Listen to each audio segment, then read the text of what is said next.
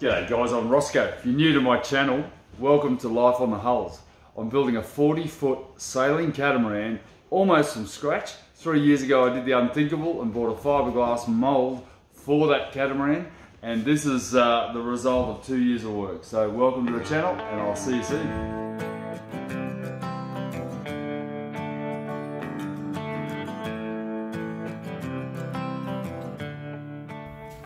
It's time to make my second Blackwater tank for my starboard side. Now, I don't know whether you remember back when I made the one for the port side, I mentioned that I'd have to shorten it or reduce the size of it. Now, the other one's around 100 litres on the port side.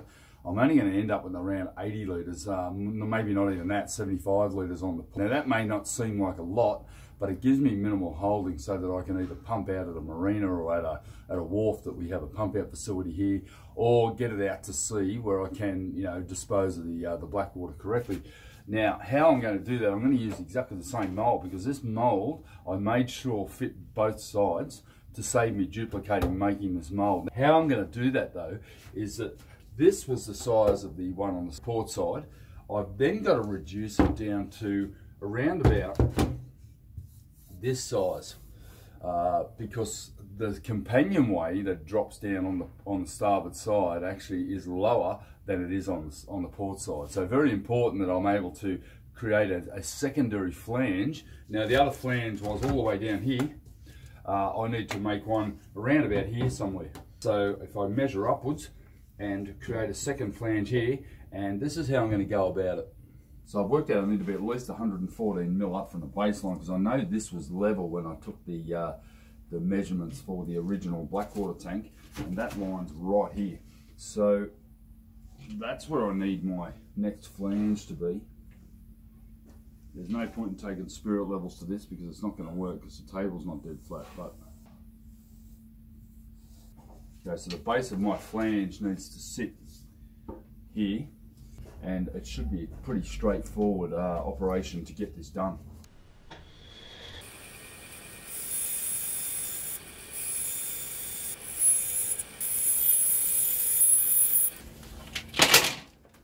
So as you can see, uh, I never throw anything out. These are the offcuts off the last tank that I made, which was uh, a couple of months ago.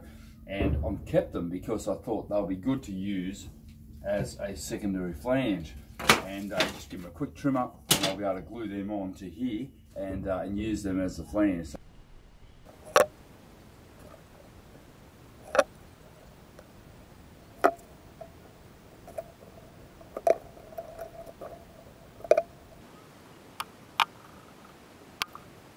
Right, so um, it's important to make this solid enough because you're going to be uh, laminating down quite hard onto this surface here. This isn't particularly thick, but it's as thick as the top of the uh, tank was. But that's going to be basically glued on there. It's not essential to have this gap uh, totally closed because I'm going to fill that with plasticine or modeling clay or something that's, that's going to allow me to put a small radius on there because once again I want to have a, a radius on the top that's not going to catch debris. I'm trying to be careful not to have any sharp surfaces. Plus, it reduces the chance of air bubbles in the top of the, of the gel coat when I laminate over the top. But that's going to suffice, and, and essentially I can clean this up as much as I like, but as soon as that's glued down, i am basically ready with my flange to then start waxing, polishing, and going through the motions. Once again, I keep all these foam blocks. This is all offcuts off the, the hull mold, and by keeping these, they made a very simple process uh, uh, a lot easier just by being able to hot glue something onto this mold. And uh, you know, this is how I've done a lot of my kayak molds, and they've all worked out perfectly. I've got sea kayak molds that have flanges that wide. The bigger the block, obviously, the bigger the flange I can carry. Um, I'm not going to be infusing or anything on these uh, these tanks. They're just too small, and uh, weight's not really an issue with this particular.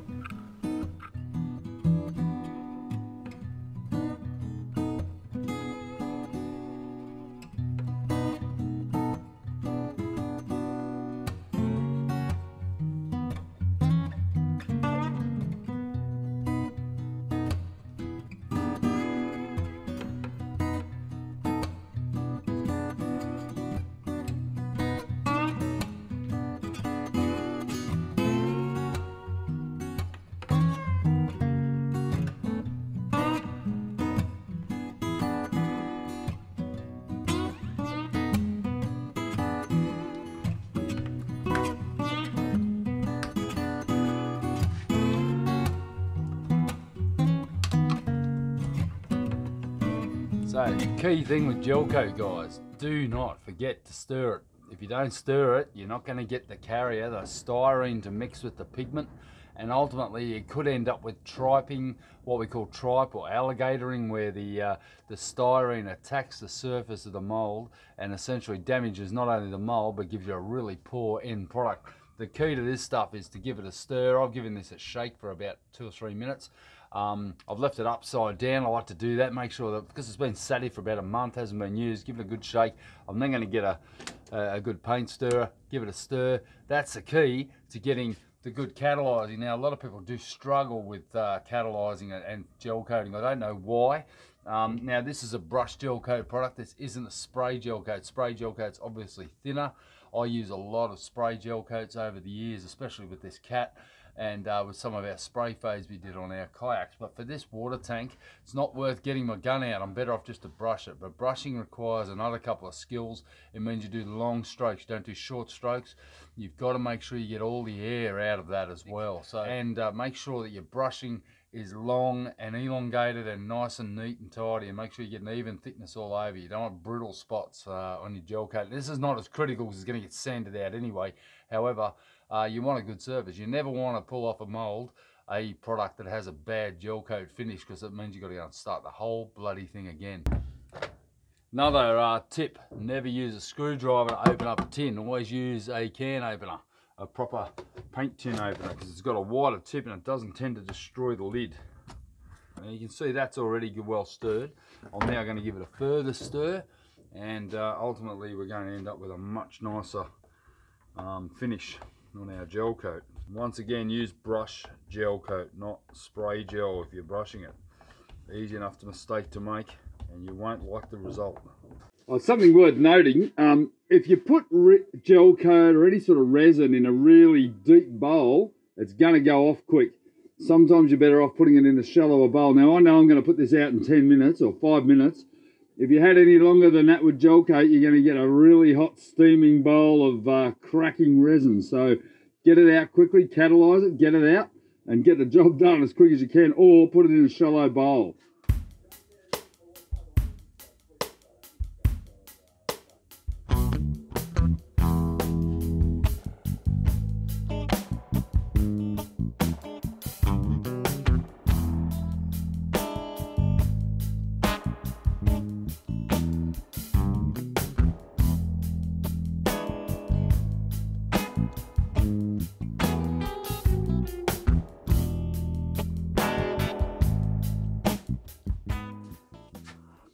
Okay, it's uh, you can see you can never get an even finish, but the key is to have long strokes so you're not sort of stopping in the middle of the uh, of the stroke as much as possible. You're never going to get it perfect. Um, the key is just make sure you've got good coverage and check for any bubbles. Now, in about five minutes' time, we're going to come back and check it again. But now that I'm set there, I can't go and play with that again um, because ultimately it's gelling and, and then it's going to start picking up bits of chunk of gel and it'll be an absolute disaster. Well, morning, guys. I did this at about 7 o'clock last night. I gelled this up and uh, went home, and obviously it was a pretty cool night. I've come in this morning, it's all set, so you should never leave gel coat overnight. It's just unfortunately I had the time pressure last night. I had to be somewhere, and uh, I'm back this morning, so it's nice and early. It's pretty cold in here, so I'm just going to spend the morning cutting all the cloth, getting this ready.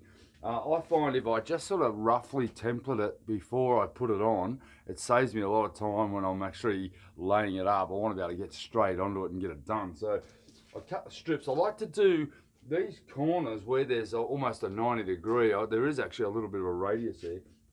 I like to always put an extra piece in there because that actually strengthens that area there. And it can be a bit hard to get the air bubbles out of there. So you've got to really make sure you work on this. So I do a small section first, just get a cup full of resin, work around and do these little edges first. You're almost stripe coating it with uh, a layer of chopped matting just to get a good bond to the gel coat. I don't want any air bubbles in that flange area because that's where the lid's going to intersect with it. So that's the first thing I'm going to do. Leave it on the lazy Susan, keep spinning it around and get it all set up get all my glass cut and almost tempered for the first two layers, and then I can come back when the when the water, when the uh, temperature hits about 15, 16 degrees, I can start laminating. I don't want to laminate until it gets a little bit warmer in here. It is a bit pretty cool in here. It's probably only about eight or nine at the moment. So uh, probably another hour or so, I'll get to around 16 degrees. It's going to be about 20 today. So perfect conditions for laminating.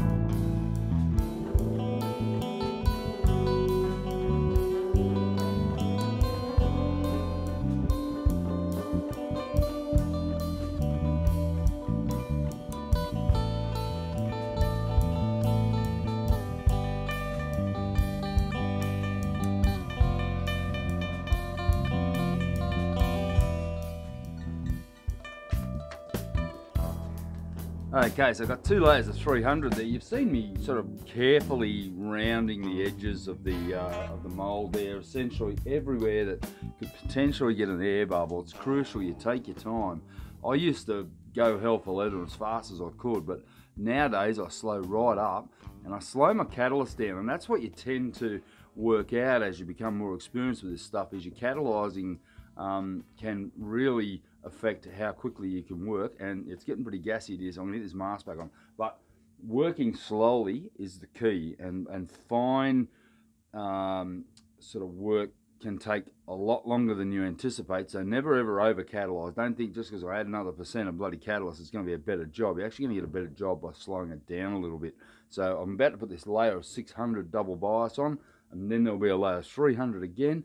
And ultimately, that's all I did with that orange tank up there and I think that's strong enough. I'm going to put a couple of little braces in areas that I think it needs some support, but I'm going to fill the orange one up with water later on and just see what sort of um, pressure that's going to be on the outside of the tank. I'm thinking an internal baffle will probably solve the problem.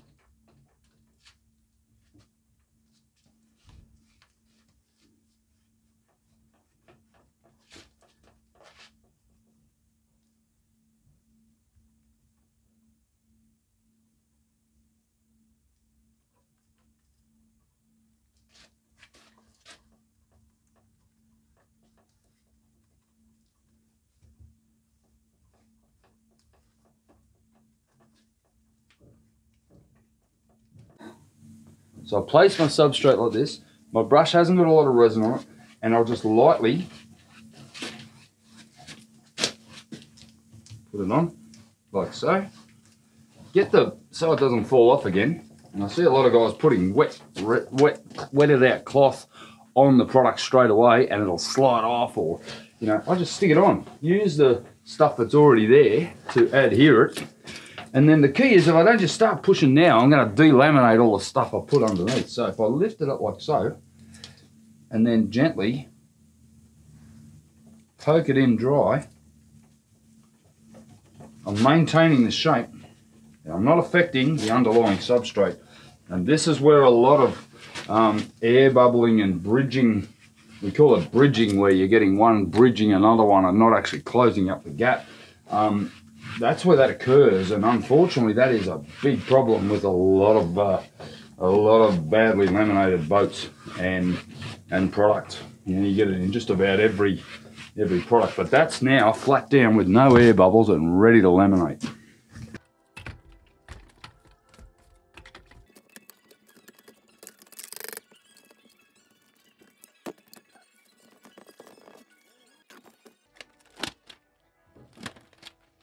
So there you have it.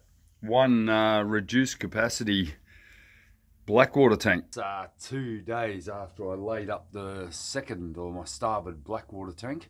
I'm going to demold it so I'm ready for the interminable struggle here. Uh, I know this is going to take a while and I've got to try to avoid busting it because if I bust the uh, modified flange that I put on this mold, then uh, I'm going to be in for a lot of work if ever I do another one. But I can't think about that. That could be years away.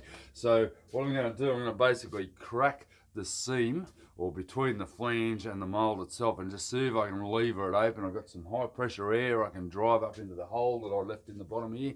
From there, I'm hoping it's going to release. Now, this could take a while. you can see here the flange that I put in there is, is not going to be super strong, but I should be able to get a crack, at least get it cracked and relieved from the flange itself. It's physically getting it up off the mold. Um, because I can't go in from here, which I did with the last one, I was able to remove the base because I can't drive up in between the mold and the actual side of the tank. Um, I've got to almost try to chock it and lift it off uh, with a minimal amount of pressure to avoid busting all the good work that I did here. So first thing to do is try to find the separating line, which is right here, and get something thin like a little spatula. I've done this a hundred times on video here, but you know, I never do it enough. And find a little bit of a line there, and there we go. So that's already separated. You can already see that flange is quite uh, it's quite fragile. It's not going to cope with a lot of force once I start to lever up. And uh, and then I get I like popsicle sticks or I call them tongue depressors because we don't call them popsicles here. We call them um, uh, paddle pops. But that's what we call a paddle pop stick. In fact, that's a bigger version of a paddle pop stick. Our paddle pop sticks are tiny. But I get these sticks, and because it's wood, it's it's unlikely it's going to damage the surface of my product or my mold. So I'll replace that. and only use metal if we can avoid it. And then uh, wearing gloves, very important. You cut your hand off.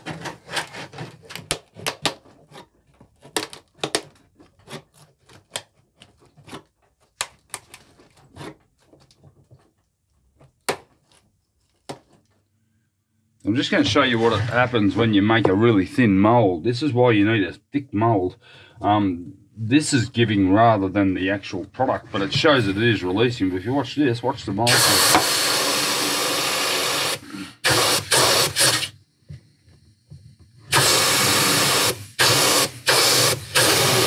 can actually see the mold itself breathing rather than the actual product, and that's sort of not what you want.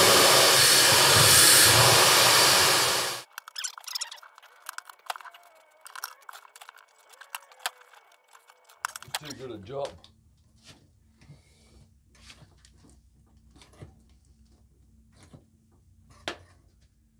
It appears I was a bit ambitious trying to save the mould. Um, the mould's okay, it's the flange and the modification. So it looks like I'm going to be back to square one. If ever I do another boat, to start with the big one, then modify it and then go into the little one.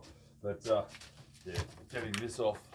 At least I'm going to save this though. I'll just chuck it inside the mould, keep it all together you never know. Moles and made this one a lot easier. I mean, I've only been going for half an hour on this one to remove it, and this one's essentially ready to come out. So let's take a look. It's always a good feeling when you pop something out of a mold. Stop it.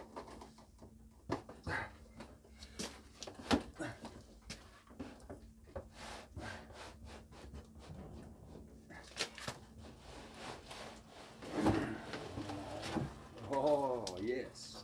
Righto, so there she is.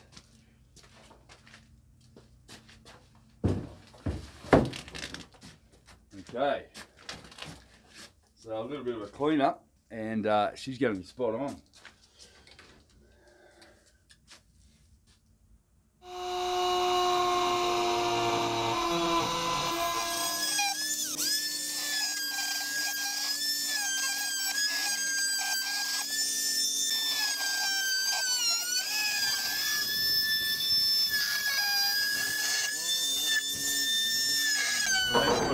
Together, so it's got to fit with the lid, but I just want to make sure it does fit. It doesn't fit now, the other one doesn't fit. Oh yeah, yeah, yeah, yeah.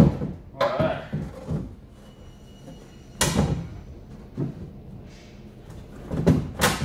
That, that is perfect. Hey, I just I need to trim the ends off. Morning team.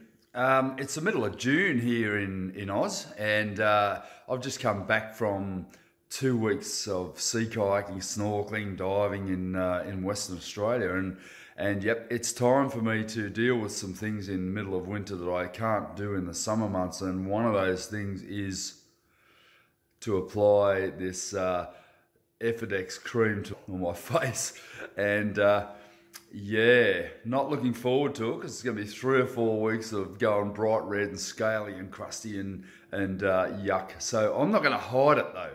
Most of you guys sort of uh, duck and run for cover, but I'm not going to hide it. You guys are going to have to bear with me as I work through this phase. It's very important that I do this because I've been putting it off for a couple of years, and uh, you can see here these little sunspots that are starting to develop on my on my face. And uh, you know, as young Aussies, it's our rite of passage to go through this cream um, dilemma. But pretty much, I've got about eight weeks where I can nail it while it's quiet and the sun doesn't have too much intensity in it before we head back into our springtime. So. A lesson out there to all you young sailors and old ones alike, you know, get a sunscreen on because you start to pay for it. I'm in my early 50s and I'm starting to really get stuff cut out. I've already had one uh, basal cell carcinoma cut out of my face here this year, and uh, and if I don't deal with it, then uh, know could things could get a lot worse very quickly. Um, this stuff essentially, I don't know whether you've ever seen it before, but it's essentially a chemotherapy for your face.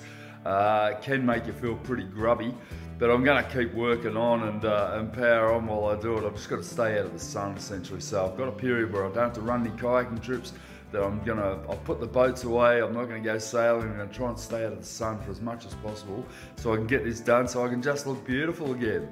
Um, my specialist has has advised me, he said, I think you'll get some cosmetic benefit out of it. I said, what are you saying, mate? He goes, well, you might look a little bit better. I said, what are you saying? He goes, well, how do you think you look normally? So, funny stuff, but yep, that's the uh, the future for Roscoe for the next month, and uh, yeah, not real happy about it, but that's the way it is. You know, just got to get on with it. You got to look after your health, and uh, yeah, you got to see a very different look at me for the next month. And I'm really sorry to do it to you, but I'm not going to hide it because it's so important that uh, that it gets done. Catch you guys. I'll see you when I turn bright red.